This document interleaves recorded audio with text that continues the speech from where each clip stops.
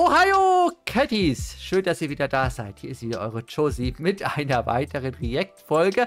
Und zwar wieder eine äh, Folge vom realen Irrsinn. Der geht uns irgendwie nicht aus. Deswegen haben wir so viel davon. Deswegen seht ihr so viel davon hier bei mir. Weil ich die toll finde. Und nicht nur ich finde die toll, sondern auch unser Schildi findet die toll. Und deswegen hat er uns wieder eine vorgeschlagen. Ja, aus seiner Liste. Da habe ich die rausgesucht. Und heute geht es um eine Brücke. Und zwar um die Stefani-Brücke. Ja, und was hat es mit dieser Stefani-Brücke auf sich? Da gab es Sperrmaßnahmen. Da ist irgendwas passiert und deswegen wurde die gesperrt. Glaube ich. Denke ich. Könnte sein. Könnte natürlich auch was anderes sein.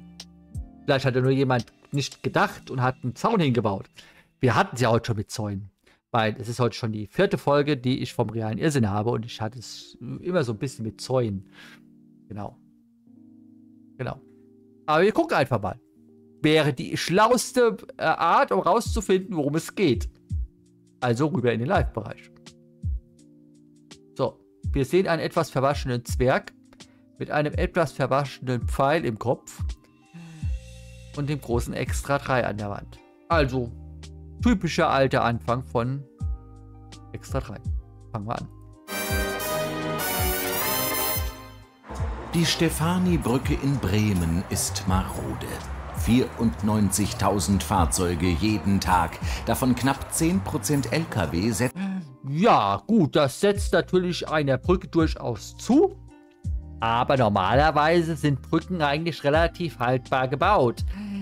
Äh, dass sie marode ist, lässt jetzt natürlich darauf schließen, dass die Stadt nicht sehr viel für den Erhalt dieser Brücke gemacht hat. Wobei bei 94.000 Autos jeden Tag ist das natürlich auch nicht ganz so einfach. Aber man könnte ja einfach mal an einem Wochenende oder in den Ferien, wenn da nicht ganz so viele Leute unterwegs sind, die Brücke sperren Zumal, wenn man sich das anguckt, diese Brücke ist auf der ein, äh, in eine Fahrtrichtung zumindest dreispurig.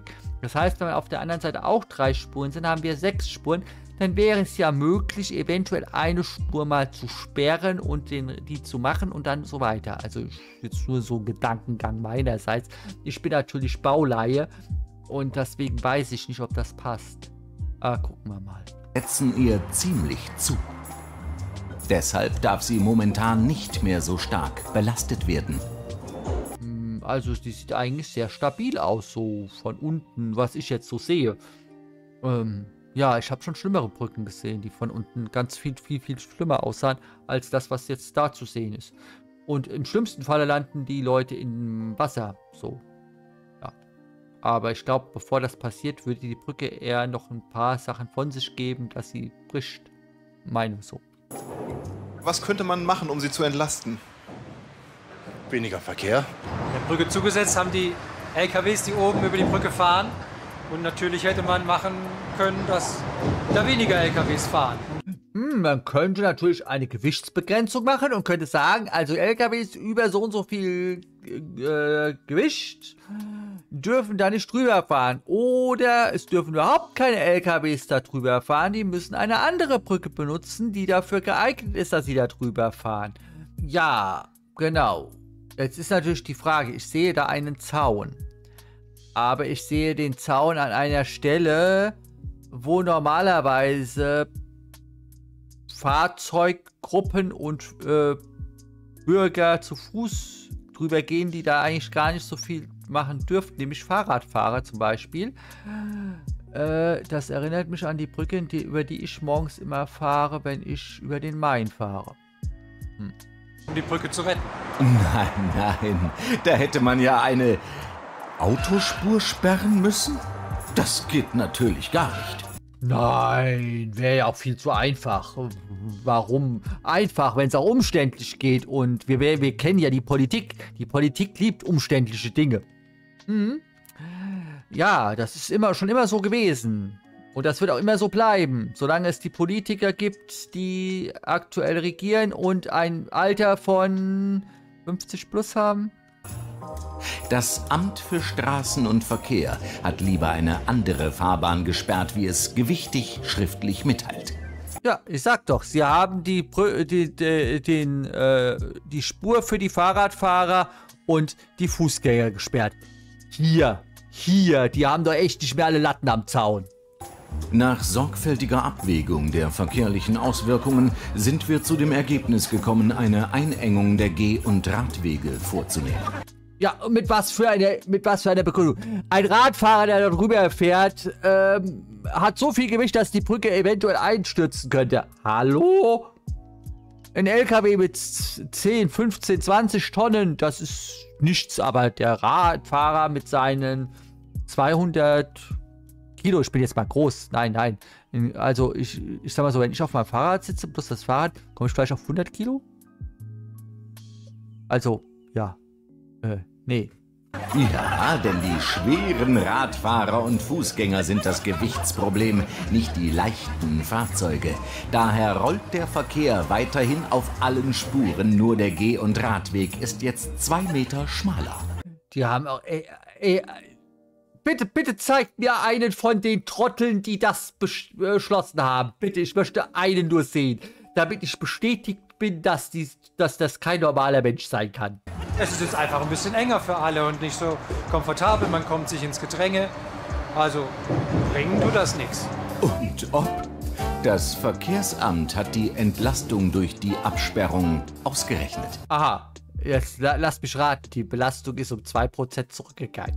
Wenn es mehr wäre, würde ich, würde ich sagen, die Rechnung war falsch.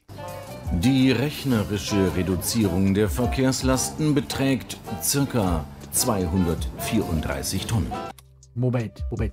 Wie viele Leute und Radfahrer sind da pro Stunde drüber gefahren? 50.000? Und mit was für Fahrrädern fahren die da drüber? Mit Lastenfahrrädern, die vollgepackt sind bis zum Anschlag? Hier, hier, den Taschenrechner, der das ausgerechnet hat, den möchte ich sehen. Den sollte man an die Wand schmeißen, der ist kaputt. Die schweren, dicken Radfahrer.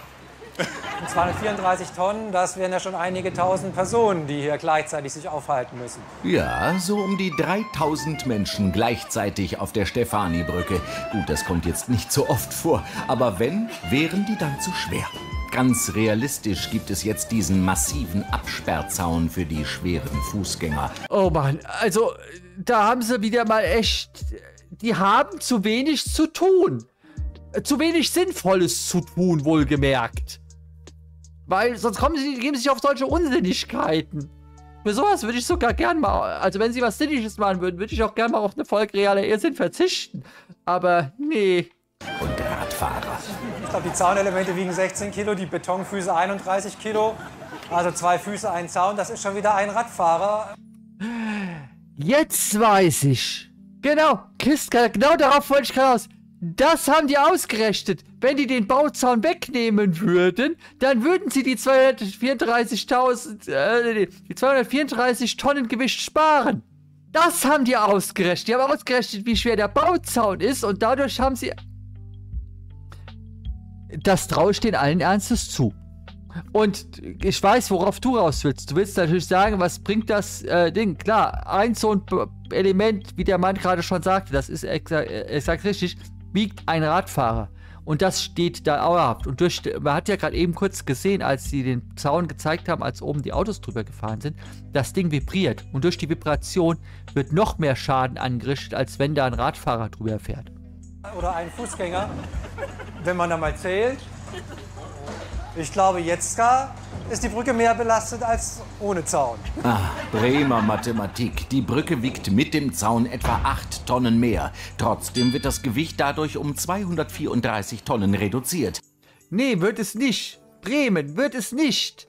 So viele Radfahrer, dass da auf einmal 234 Tonnen drüber rollen, ist nicht. Nee, nee, nee. Nicht einmal, wenn da jeden wenn da rundweg dauernd Radfahrer drüber fahren würden, und zwar so nah, dass sie sich Vorderrad an Hinterrad anhängen würden, selbst dann würden sie das nicht hinkriegen. Nein, ist nicht. Nein, nein, nein, nein, nein. Magic. Schwerer machen und leichter werden, das ist nicht ganz auszuschließen, aber ich habe es auch noch nicht ganz verstanden. Dabei ist es ganz einfach.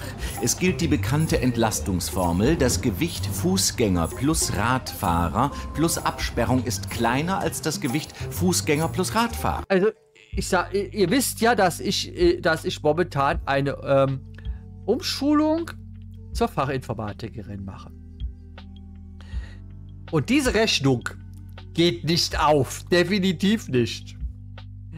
Ähm, ein Spargeltarzan-Fahrradfahrer plus ein Leichtrad plus ein Zaun. Okay.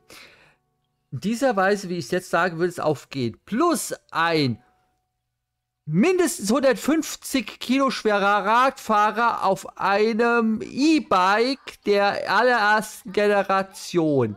Der würde es vielleicht hinkriegen. Dann würde die Rechnung aufgehen, aber nur dann. Und selbst da bin ich mir nicht sicher. Äh, ja, genau. Äh, wie gesagt, wie ich gerade sagte, Kistenkarte. Also 150 Kilo plus, plus äh, E-Bike der ersten Generation. Dann käme vielleicht diese Rechnung hin, aber nur dann. Und selbst da bin ich mir nicht sicher.